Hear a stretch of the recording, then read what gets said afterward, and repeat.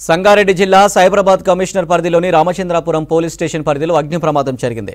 Ramachandrapuram Chandanagar police station పరిధిలో వివిధ కేసులో పట్టుబడిన ముప్పై ఆరు బైకులు ఆరు కార్లు మంటలో కాలిపోయాయి. గుర్తు తెలియని వ్యక్తులు బీడి ముట్టించి పడేయడం వల్ల ప్రమాదం జరిగి ఉండవచ్చని పోలీసులు అనుమానిస్తున్నారు. వాహనాలు నిలిపి ఉంచిన ప్రదేశంలో చుట్టూ ఎండుగడ్డి ఉండటం వల్ల మంటలు వేగంగా వ్యాపించాయి.